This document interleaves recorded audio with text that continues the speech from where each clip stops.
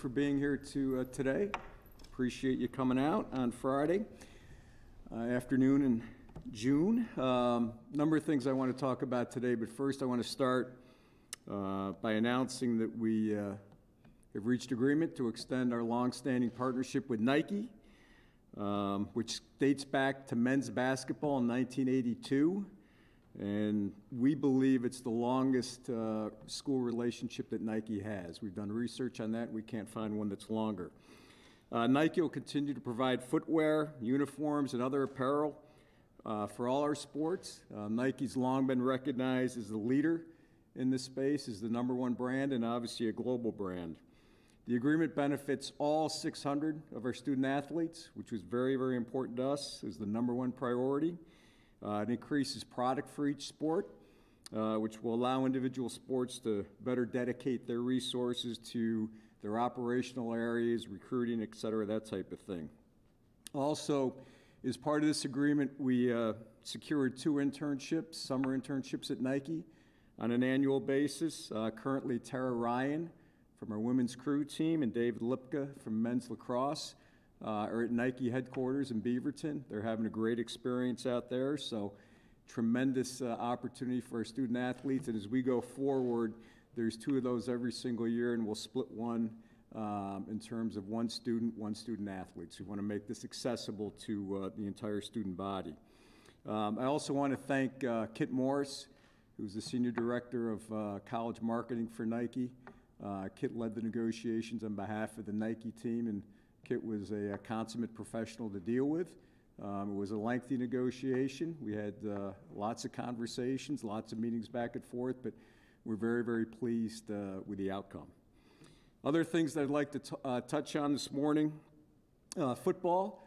Season ticket sales continue to be very strong. Uh, we're at over 6,800 new season tickets sold for the 2020 season. Um, our renewal rate of our current season ticket holders is over 90%, which is outstanding. Um, so we're appreciative of the support of our longtime season ticket holders, and we welcome uh, our 6,800 new season ticket holders to, uh, to Syracuse football. And I think the result in that is uh, we will have a tremendous home field advantage uh, for all six of our home games this year, and that's the goal.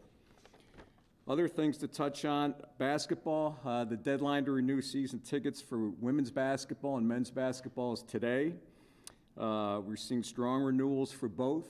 Uh, women's basketball, we have very limited courtside seats available, um, so I encourage if people are interested, they should act quickly on that. It's a great vantage point and you know it's tremendous value um, as well. And obviously, uh, we're excited about the prospects of next year's uh, women's basketball team, and obviously Tiana coming back was a great jump start to the 2019-2020 season. She'll be a top 10 player in the country. Men's basketball, uh, we've got a great home schedule. Uh, when I say great, it really is. When you know it's Duke, uh, Iowa in the Big Ten ACC Challenge, um, North Carolina, and our home opener against uh, and the season opener against the defending national champion, the Virginia Cavaliers. It's important to uh, remind our fans also that the Virginia game will be exclusively and only available on the ACC network.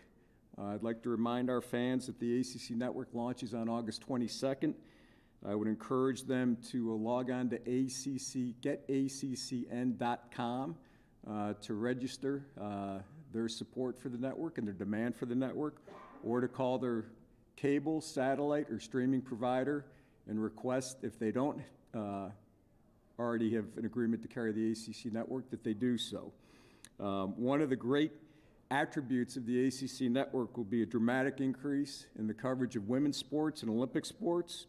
Um, as an example, uh, there'll be 30 women's soccer games, 20 volleyball matches, and 12 field hockey uh, games on the ACC network exclusively this year. That's a 90% increase over what the ESPN linear networks dedicated to those three sports last year. So I think that uh, is is uh, shows the example in the commitment that, uh, that ESPN and the conference and the 15 schools have uh, to grow the profile and the brand and the exposure for Olympic sports and our women's sports in particular. So again, we encourage our fans to go to getaccn.com or to call their local cable, satellite, or streaming provider. Distribution agreements for the network, ACC network, are already in place with Altice, DirecTV, Google Fiber, Hulu Live TV, Optimum, PlayStation Vue, and Verizon Fios, and others as well. Uh, From a competition update, overall, I think we had a real strong competitive year uh, across the board. 14 of our teams uh, competed in national championship tournaments or national championship events. 12 of our teams are ranked in the top 25 uh, during the course of their season. We had 13 All-Americans, and we still may have a couple to add to that. And uh, I think in what we're most proud of is we had two university scholars, which is the highest honor an undergraduate uh, student at Syracuse can uh, be recognized with. Uh, there are 12 university scholars, and two of them were student athletes, uh, Santita Ibangawes and, uh, and Hendrik Hilpert. Um, last uh, quick dome update, uh, we put out an announcement a couple days ago that the box office will relocate to the Ensley Center beginning on Monday. Uh, the hours are listed on Cuse.com. So we encourage fans, if they want to buy tickets in person, come to uh, the box office at Ensley Field, uh, the Ensley Center. There's free accessible parking in the uh, Manley South lot. In addition to that, you see some exterior work uh, ongoing at the dome now to really prepare us, uh, put us in position for the roof replacement uh, program next year and the other amenities. So I think for all of us and for everyone in the community, I think there's excitement to see that project underway. So with that, I'm happy to take uh, any questions. Uh, just, Morning, Nico. How are you, John?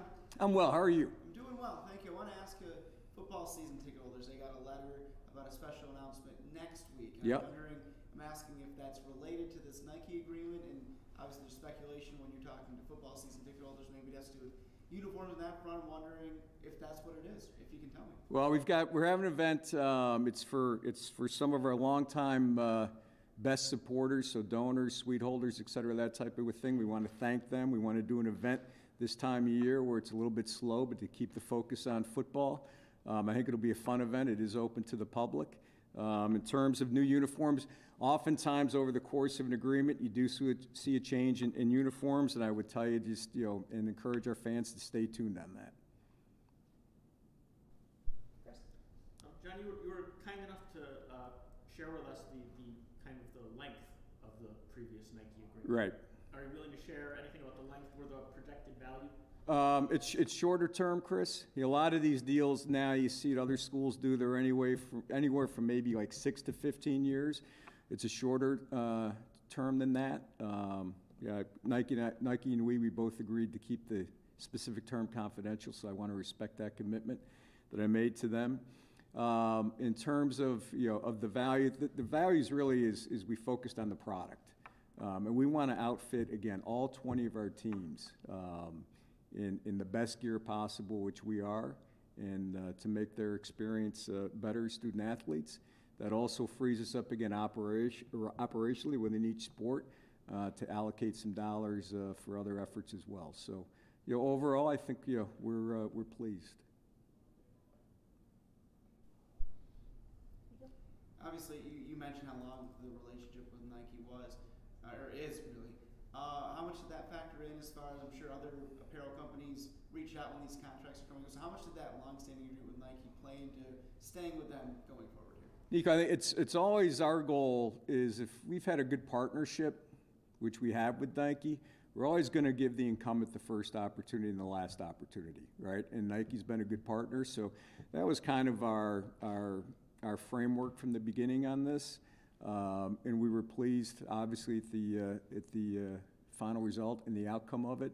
Um, there are obviously there are others in this space, Adidas, Under Armour, et cetera, that type of thing. But uh, from the outset, you know, I, I stated that our number one goal is to is uh, we would like to stay with Nike, and we're and we're very pleased that we are. Stephen, how are you? Good, John. How are you? Chris, I forgot to ask you how you're doing too. All right. So I think it was uh, at a West Coast speaking event, you you or Dino mentioned um, the, re- the retention of his assistants and that maybe they've gotten better offers either in position or, or financially, uh, and so far, they've all stayed. Uh, I'm curious, how much of a factor was that in your negotiations with his extension, and what does it maybe say about, uh, the, the future of the program that you're keeping that staff pretty much intact? Well, I think it's, it's, to me, it's part of the overall development in building the foundation for the program, is, is how you resource the program, right? And certainly, assistant coaches and, and the pool for assistant coaches is a very, very important part of that. And our goal is we want to be, we want to be competitive, um, and we study the marketplace on a, on a ongoing basis to make sure that we are. I think it's also, I give great credit to, uh, to Coach Babers and just the culture that he's created within the football program. Um, there really is, you know, a sense of, of, of family. Um, there's great camaraderie. It's fun to see the assistants interact with one another. There's great respect for one another. Um, I think there's great football acumen there. They also, they're, they're consistent with the values that we have as a department and as a university. So they, you know, they stress the academic component and the ac- academic opportunity that our football student athletes have here at Syracuse University. And that's just not, you know, that's just not talk points. I mean, that's, you know, that's real. And you see their commitment to that. So I, I really, I think it's part of the overall culture that we've worked hard to develop. Part of that culture is we've got to make sure we resource it appropriately to be competitively at an ACC level. Is there a number you can put to it, be it when you said you looked at the market, be it the total pool, or maybe even the, if there was a significant percentage increase from the previous deal? Yeah, you, you kind of look at, you know, you kind of look at overall pools, and there's some outliers in there, and, you know, and, the- you know, the outliers you just kind of discard. Um, Gentlemen, it, it says performance-based bonuses is one of the forms of compensation.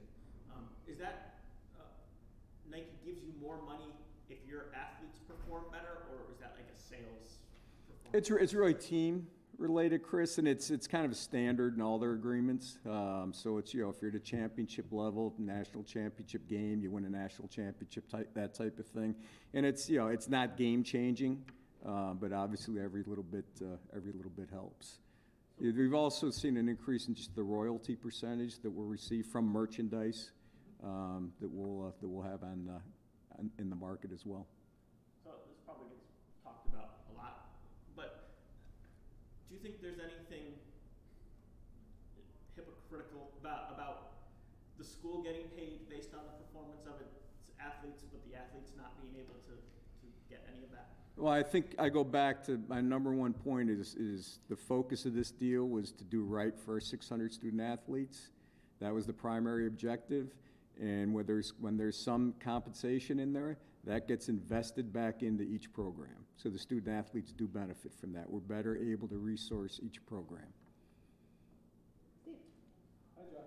Hey, Steve, how are you? I'm, I'm doing well. How about yourself? I'm doing great, thanks. So, two-part question.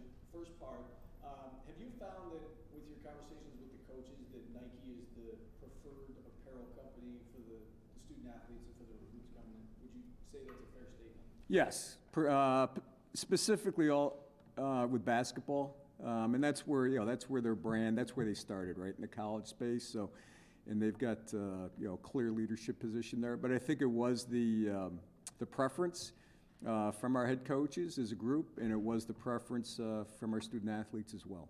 And then the second part to that question is, when the new uniforms come about, and it sounds like maybe sooner rather than later, and I don't want to put words in your mouth, but when the new uniforms come about, does Syracuse have say in what those uniforms are going to look like, or is that strictly just Nike doing its thing?